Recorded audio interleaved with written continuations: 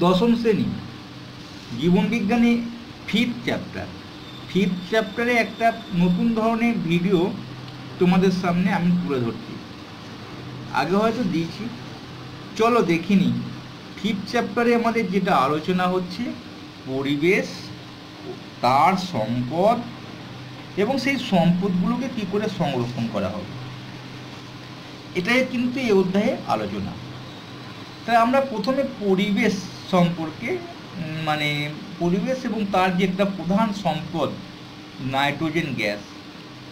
বা নাইট্রোজেন যে চক্রটা, বাতাসে না, সেই চক্রটার আমরা আলোচনা করব। শুধু আজকে ওটাই আমাদের আলোচনা হবে। তারপরে পরে ভিডিও পরেরটা হবে। এখন দেখো এই নাইট্রোজেন চক্র আলোচনা করতে এসে আমরা একটুখানি মনে করব। কি মনে করব? না জলচক্র খুব সহজ সূর্যের তাপে জল উপরে উঠে যায়, আবার ঘনী বাষ্প উঠে যায়, দিয়ে সেখানে ঘনীভূত হয়ে আবার বৃষ্টিরূপে নেমে আসে। তো সোজা, আমাদের মানে এই নাইট্রোজেন চক্রটা একটুখানি জটিল। মানে সহজ করে পড়লে সহজ হয়ে যাবে। জটিল তো সেইটাই, যেটা অজানা, সেটাকে বলা হয় জটিল। চলো আমরা দেখিনি এই নাইট্রোজেন চক্রটা কীভাবে বাতাসে ফিরে আসছে। বাতাসে তো নাইট্রোজেন থাকে। আর বাতাসে নাইট্রোজেন কোনোভাবেই কোনো তাপমাত্রা চাপে মানে বিক্রিয়া কারোর সঙ্গে করে না। মানে এটুকু আমরা জেনে গেলাম যে, সাধারণ তাপমাত্রা চাপে নাইট্রোজেনে কারোর সাথে বিক্রিয়া করে না। তাহলে আমরা এইটুকু জানার পরে দুটো বইকে আমরা, দুটো লেখকের দুটো বই নিয়ে আমরা পড়াশোনা সঠিক জায়গাটা পৌঁছে যাব। এখন এই নাইট্রোজেন চক্রটা কাকে বলে একবার জেনে নিই? অর্থাৎ একটা পদ্ধতি, যে পদ্ধতিতে চক্রাকারে ঘুরে এসে বাতাসে নাইট্রোজেন, আবার বাতাসেই ফিরে যায়। এটা সোজা করে বললে। আর একটু বিজ্ঞানের ভাষায় বলতে গেলে, যে চক্রাকার পদ্ধতিতে বায়ু মুক্ত নাইট্রোজেন মাটিতে ও জীবদেহে আবদ্ধ হয় এবং নাইট্রোজেন বিশ্লিষ্ট, নাইট্রেটে বিশ্লিষ্ট হয়ে নাইট্রোজেন গ্যাসে পুনরায় বায়ুতে ফিরে যায়। তো বায়ুতে নাইট্রোজেনের পরিমাণটা আমাদের প্রথমেই জানতে হবে। কত আছে আমাদের? আটাত্তর দশমিক অনেক সময় দুই পাঁচ হয়, অনেক সময় জিরো ছয় হয়। দেখে দেখিনি দুটো বই আমাদের কি লিখেছে। দেখো, এখানটা দিয়েছে সাতাত্তর দশমিক এক সাত। এটাও কিন্তু সরকারি স্কুলে পড়াশোনা হয়। এখানে দেওয়া আছে, দেখো আটাত্তর দশমিক জিরো নয়। তাহলে স্যার কোনটাকে ঠিক লিখব? তোমরা ওই আটাত্তর দেওয়ার পর কিছু একটা দিতে পারো। আবার কোনো বই আবার দেখতে পাবে আটাত্তর দশমিক দুই তিন। ঘটনাটা এই সাতাত্তর, আটাত্তর মধ্যেই সীমাবদ্ধ। তাহলে তোমাদের কিন্তু একটা ধারণা, যেটা অনেক বিভিন্ন বইয়ে বিভিন্ন জায়গায় অ্যান্সার থাকবে, সেটা কিন্তু আমাদের বুঝে নিতে হবে যে এটা আটাত্তর বা সাতাত্তর মধ্যে অ্যান্সারটা দিতে হবে। চলো আমরা এই চক্রটা বোঝার আগে আমার কাছে একটা ছোট্ট মানে লিখে রেখে দিয়েছি। কি এইটুকু যদি আমরা ভালো জানতে পারি, তাহলে হয়ে যাবে। মানে অনেকটা আয়ত্ত। কি হয়ে যাবে? দেখো মানে এনও টু হচ্ছে নাইট্রোজেন। মানে এন টুটা হচ্ছে শুধু নাইট্রোজেন। তারপরে এন ও মানে এন ও হলে কি হবে? কি বলব? নাইট্রিক অক্সাইড বলব। এন ও টু যখন দেবো কি বলব? নাইট নাইট্রোজেনে অক্সাইড বলতে পারি, নাইট্রোজেন ডাই অক্সাইড বলতে পারি, আর একটা বলতে পারি, নাইট্রাইট। তাহলে এটা নাইট্রিক অক্সাইড হলো, নাইট্রাইট হলো, এটা নাইট্রেট হবে। এটা লবণ এক ধরনের। আর এই আগে থাকা মানে সেটা অ্যাসিড হয়। তাহলে নাইট্রাস অ্যাসিড, এটা হচ্ছে নাইট্রিক অ্যাসিড। আর এই এন এইচ ফোর হলে অ্যামোনিয়াম। এই কোটা আমাদের কিন্তু এই নাইট্রোজেন চক্রের সঙ্গে খুব পরিচিত। যদি আমরা নিজে থেকে লিখতে পারি কোনটা কী, তাহলে আমাদের খুব সোজা হয়ে যাবে। চলো আমরা চক্রটা ফিরে যাব। আমি একটা চিত্র আঁকি, নাহলে বুঝতে পারা যাবে না, এটা বায়ুমণ্ডল, মনে করো। এখানে আছে কিন্তু এন টু শুধু নাইট্রোজেন। কত ভাগ বললাম? সাতাত্তর, আটাত্তর মধ্যে কিন্তু আমাদের অ্যান্সার চলো, এই নাইট্রোজেনটা বাতাসে আছে, এখানে কার্বন ডাইঅক্সাইড আছে। হুম, আমাদের একটুখানি মজার কথা মনে করিনি কার্বন ডাইঅক্সাইড গ্যাস তো আমাদের বিশ্ব উষ্ণায়ন ঘটায়। পৃথিবী থেকে আমাদের কার্বন ডাইঅক্সাইড গ্যাসটাকে বিদায় করে দিলে তার বিশ্ব উষ্ণায়ন ঘটবে না। হ্যাঁ বিদায় করে দিলে আমরাও মরে যাব। কার্বন ডাইঅক্সাইড খুব সামান্য আছে। দেখো কত পরিমাণ আছে? জিরো পয়েন্ট জিরো ফোর কত অল্প? সেটুকু যদি আমরা তাড়িয়ে দিই আমরা মরে যাব। কেননা উদ্ভিদ তার নিজে খাবার তৈরি করতে পারবে না, উদ্ভিদ বাঁচবে না, আর উদ্ভিদ না বাঁচলে আমরাও বাঁচবো না। ঘটনাটা তাই তো, কাউকে তাড়ানো যাবে না। তাহলে বাতাসে নাইট্রোজেনটা আমাদের ফিরিয়ে আনতে হবে। দেখো, এই নাইট্রোজেনটা দু রকম তিন রকম ভাবে কিন্তু মানে মাটিতে এসে মিশছে। এটাকে আমরা মাটি আঁকি হ্যাঁ? প্রথমে দেখো এমনি আমি প্রথমেই বলেছি সাধারণ তাপ বা উষ্ণতায় কিন্তু বায়ু নাইট্রোজেন কারোর সঙ্গে ক্রিয়া করে না। তাহলে বিক্রিয়া করে না বা কোনো রকম তাহলে কি করে আসবে? হ্যাঁ আসবে। প্রথম একটা, আকাশে বিদ্যুৎ চমকাচ্ছে মনে করো। আকাশে যখন বিদ্যুৎ চমকায়, তখন এই নাইট্রোজেন কি ঘটায় দেখো?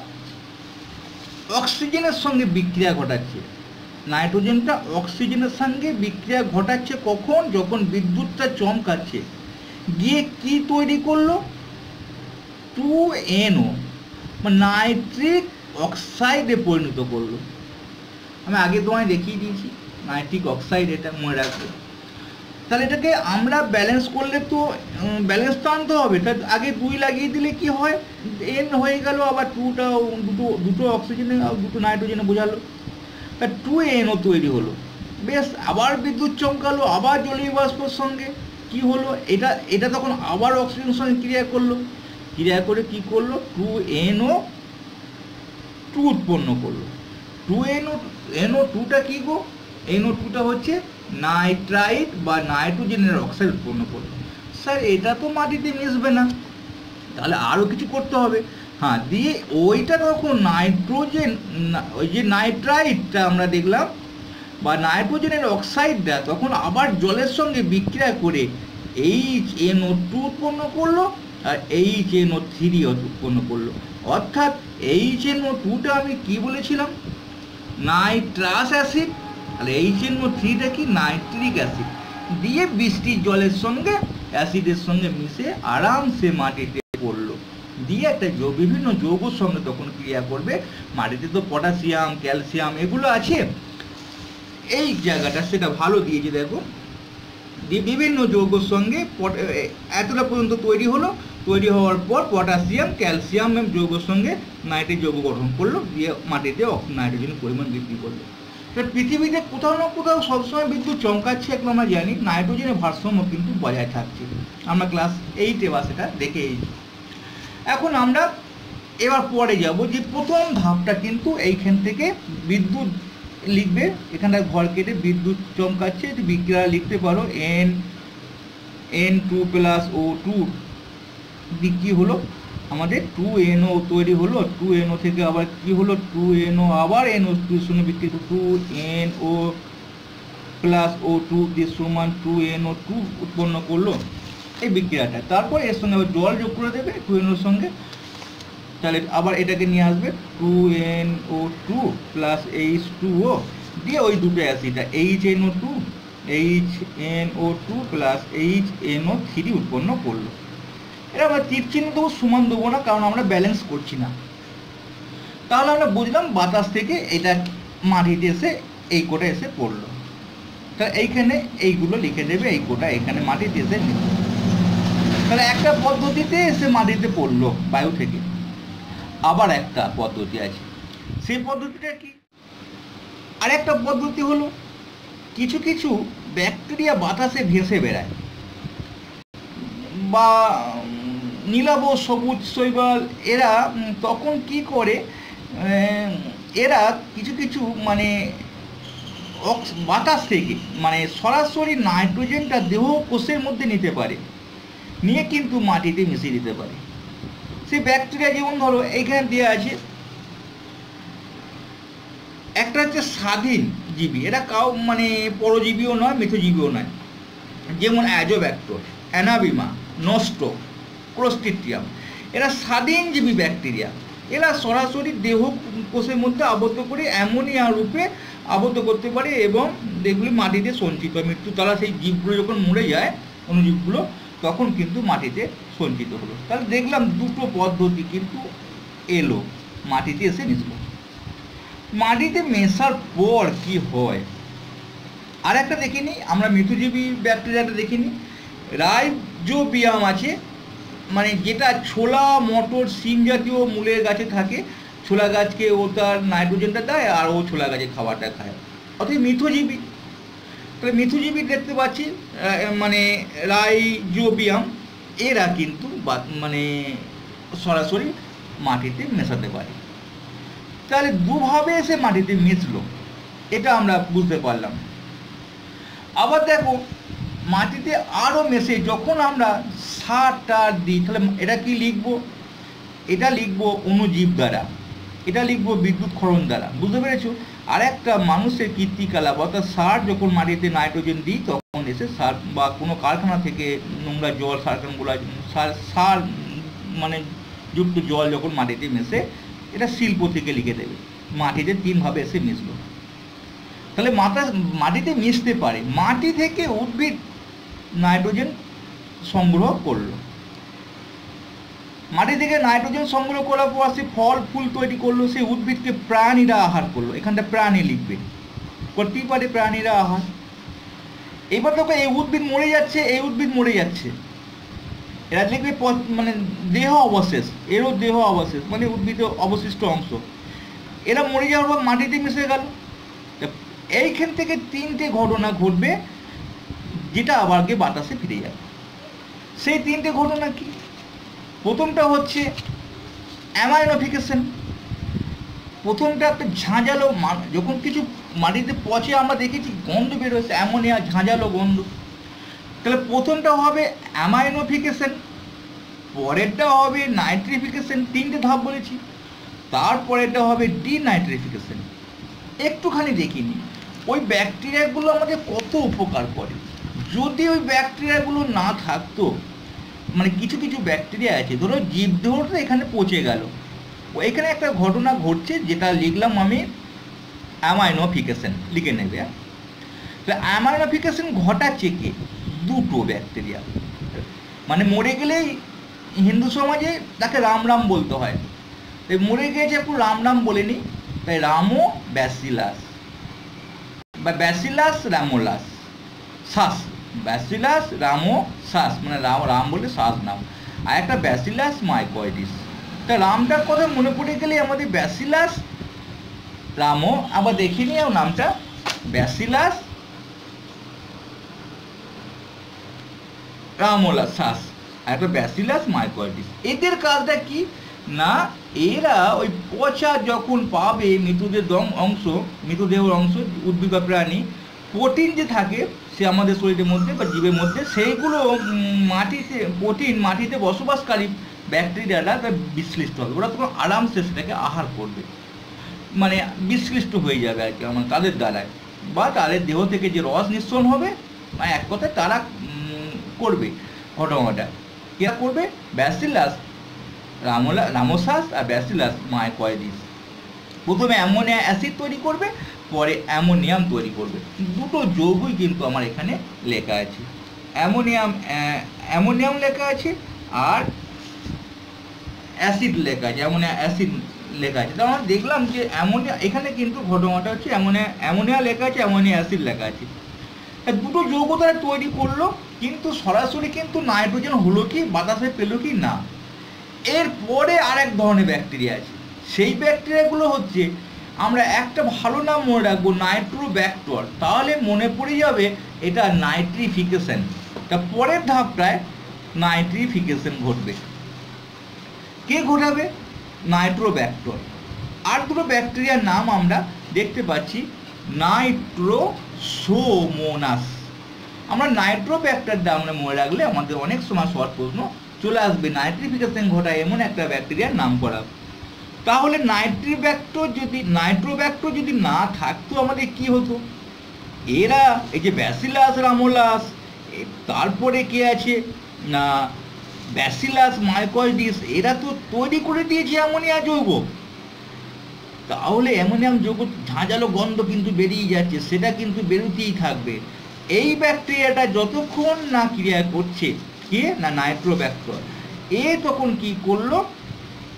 এই নাইট্রোব্যাক্টর দেখো, এই জায়গাটাতে আমরা যাব। এখানে একই ঘটনা যে আছে। এই নাইট্রোব্যাক্টর নাইট্রিফিকেশন বলছে, এ তখন কী করছে? জীবাণুক্রিয়ার ফলে মৃত্তিকাস্থিত অ্যামোনিয়া প্রথমে নাইট্রাইট এবং পরে নাইট্রেট উৎপন্ন করল। তাহলে একবার নাইট্রাইট উৎপন্ন করল, নাইট্রেট উৎপন্ন করল। তাহলে ঝাঁঝালো গন্ধ থেকে আমরা কিছুটা রেহাই পেলাম। ওদের জন্যে, কাদের জন্যে? নাইট্রোব্যাক্টর স্যার এখনও তো বাতাসে গেল না। হ্যাঁ আর এক ধরনের ব্যাকটেরিয়া বসে আছে। সে কিন্তু ওই অ্যামোনিফিকেশন ঘটাতে পারে না, আবার নাইট্রিফিকেশনও ঘটাতে পারে না। ঠিক এই জায়গায়, তিনটে ধাপ বলেছিলাম না? এইখানে এইখানে একটা এইখানে একটা তারা কি সরাসরি গিয়ে বাতাসে মিশিয়ে ফেলছে? সে কি মিশিয়ে দিচ্ছে? অটোমেটিক্যালি বাতাসে মিশে যাচ্ছে। সেটা বলছে আমরা ডিনাইট্রিফিকেশন তাহলে প্রথম হলো আমাইনোফিকেশন এটা হলো নাইট্রিফিকেশন এটা হলো ডিনাইট্রিফিকেশন স্যার, এই ডিনাইট্রিফিকেশনটাকে ঘটায় কোন ব্যাকটেরিয়া? ওটা তো খুব ভালো ব্যাকটেরিয়া মনে হচ্ছে। হ্যাঁ নামটা শুনে নাও। সিউডো মোনাস সিউডো মোনাস ইনি ঘটিয়ে দিচ্ছেন। মানে এরা তো নাইট্রেটে তৈরি করে দিল। নাইট্রাইট আর নাইট্রেটে তৈরি করে দিল নাইট্রোব্যাক্টর আর এ করে দিল সরাসরি নাইট্রেট থেকে একটা ডিনাইট্রিফিকেশন প্রক্রিয়া নাইট্রোজেন বাতাসে মিশিয়ে দিল। খুব সুন্দর এই বইটাতে দেওয়া আছে। এরা তো, এইটা তৈরি করেছিল H N O three H N O three nitric acid পর্যন্ত করেছিল। তাহলে এইটাকে কেমন করে ভাঙ- ভাঙছে দেখো এইচ এনও টু এলো H N O two nitrous acid এলো, তারপরে এইগুলো ভেঙে গেল, নাইট্রোজেন, হাইড্রোজেন, অক্সিজেন, নাইট্রোজেনটা বাতাসে মিলিয়ে গেল টু যুক্ত হয়ে গেল। তাহলে আমরা বুঝতে পারছি যে কীভাবে নাইনটি নাইট্রিফিকেশনটা সায়নো ব্যাকটেরিয়া ঘটাচ্ছে। তা সায়নো ব্যাকটেরিয়াও তো আমাদের এক ধরনের মানে এরা কিন্তু অণুজীব।